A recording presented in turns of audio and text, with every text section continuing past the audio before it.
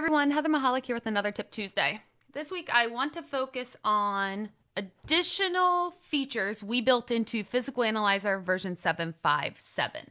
Um, everything from your wish list on applications that weren't fully supported to find my locations on iOS devices and more. So here I want to show you just a few things. You can see that I have several extractions loaded. I'm going to go into Analyze Data, and this one specifically is Facebook Messenger.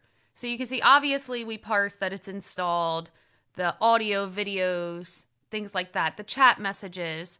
But we're now also adding things like call logs. We are also parsing data that used to be in an encrypted state. So Facebook is going to encrypt accounts that were connected on a mobile device but not specifically logged in on that mobile. Physical Analyzer is now going to provide you access to that information.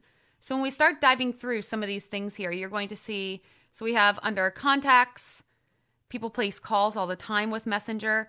Um, if you have children who use Messenger Kids, you're also going to find that information here on what you're seeing. If you start looking out, we have our Messenger chats, web searches, user accounts, details, and so on. So that is Facebook Messenger. Another thing that we added is Find My. So if you try to do Find My location on iOS devices, here you're going to see the user account for the Find My we're also going to see the locations where the person pinged their device to see where their location was. You can always right click if you're online and do retrieve address and get that information.